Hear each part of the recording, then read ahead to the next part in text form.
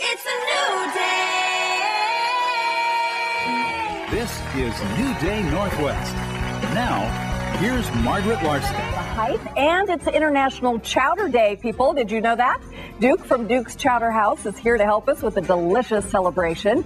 And we also have some exciting developments to talk It's a new day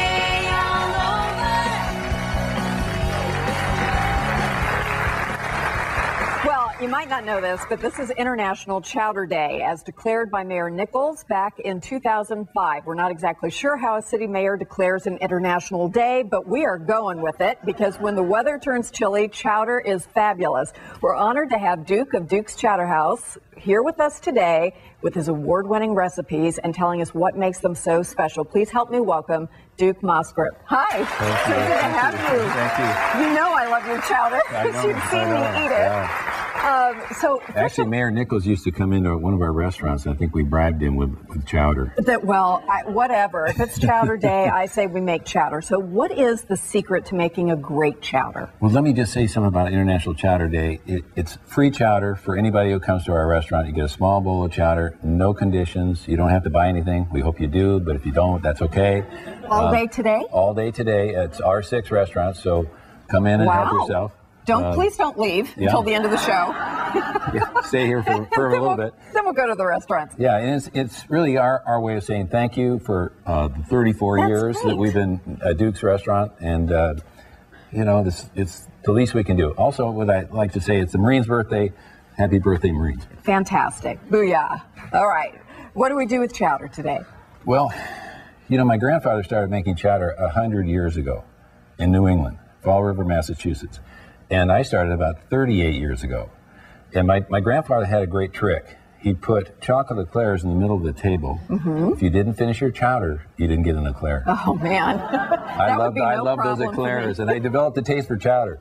That's Uh, a win-win. but the, the real secret to, to good chowder is number one, it's got to have ingredients, and it needs to be natural.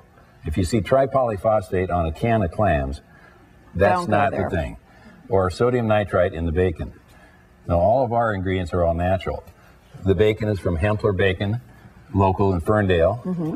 Meadow Sweet Dairy with a heavy cream, high butter fat, 39 to 40 percent, for that silky smooth finish. Oh, not man. fattening at all. That sounds really good. The butter's from Meadowsweet also. And their cows get no BST or RBSG, same thing. It's a growth hormone that makes cows give more milk. We don't allow that. They don't allow it. It's great. So the cows are happy, the chowder's good, and Right. we're pretty satisfied. And then you have, you know, of course, red potatoes. Red potatoes are used because they don't leach as much starch into the into your chowder, so you always want to have red potatoes. Okay, good tip. Um, And, and then the herbs. You say herbs that are- is the real deal. Well, the clams are really the big part of it, and they're all natural. And like I said, you don't want tripolyphosphate. You want an all natural clam. And then the herbs. Our chowder is a bit herby, and it's the secret to why we won. We won the Seattle Chowder Cook-Off three years in a row. We're asked to retire because the other restaurants wouldn't compete. So The other it's a true said story it wasn't fair. anyway, um, but the herbs, starting with basil, dill, uh, marjoram, Marjoram? parsley, and thyme. If you want to chop a little bit, You bet. Of each thing? start, start, yeah, just chop until you get the, the that that nose flavor. Okay. Love Look basil. at, the, look at this experienced knife person here. Wow. Wow. I'm Yeah, just, no, just- trying to be neat. Okay, I'm going to keep chopping. Oh my Keep- gosh, yeah. I'm chopping. You go ahead with what it's you're doing. It's really just it's this incredible strong pungent Yeah. ar- ar- aroma that you just it's unmistakable and, and the the herbs and the the clams and the bacon all kind of come together in this concoction that is truly ambrosia. It, it's the people who come to our restaurant and it'll, you're going to get a chance to, to taste it but the expression we usually see on people's face when they have their first mm. bite and I, I recorded this almost 500 people did it, and they almost said the very same thing. What they said is they'd have a sip, and they go, "Oh my God, that is so good." I'm not kidding. It's a true story.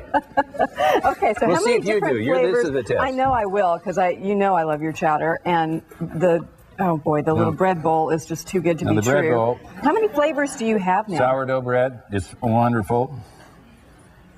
Gosh, that smells good. Yeah, we have five five flavors in the restaurant. We have a lobster pernod and a Cajun chicken, a crab bourbon, and a Northwest seafood chowder, which is not cream based, it's uh, tomato based. Can we freeze this, by the way, if we make chowder? You can. Gotta freeze it right away, though. Oh my God, that's good. That's, you're exactly right. Do you have a favorite among your chowders? Wow, this one's mine, everybody. I just want you to know. I was asked that question uh, backstage here, and uh, it depends on the day. Uh, some days I like lobster pernod, and next day I want Cajun. You know, it's. Uh, I love the idea of the of the Cajun. Where do you come up with these things? Well, I worked with a, a chef chemist about 15 years ago, and we spent three months in the kitchen together, cooking and tasting and putting together the combinations that are so good with each other. Crab and, and bourbon are a natural. Lobster and Pernod, which is a, that licorice, uh, it- it's incredible how that goes together. Right. And the Cajun chicken. We had a woman who, who came to uh, to us and who claimed to be a Cajun expert, and we were just kind of, God, we hope this passes the test. And she gave us the thumbs up. So And said it was. Just enough heat, not not too, doesn't blow your head off. You know, it's just just the perfect amount of heat. What's your favorite beverage with a chowder? Actually, root beer is really good with with chowder. How about that? I never knew that. It, it actually is really really tasty. What a great, Yeah. great thing to and then, know. Then you need something that's got malolactic, you know, that real buttery, like a Chardonnay that's got real buttery taste to it. Goes great with this Mm. because obviously we got we got butter everywhere here. Root beer with the Chardonnay chaser. There you can't, go. Can't go wrong. Duke, thank you so much. Duke is kindly sharing the recipe for his awesomely famous chowder with everybody. Just head to our website and click the link for New Day recipes. On that section, you can go to our Spiffed Up recipe page where you can download recipes, create shopping lists, and lots more. And then, of course, our studio audience gets to sample some of this great chowder right after the show. Plus, you're going home with a box of pre-made chowder to share with the family. So happy Chowder Day, everybody. Looks just like this, and it's fantastic. After the break, we'll tell you how one woman took a spiritual sabbatical to deal with the loss of a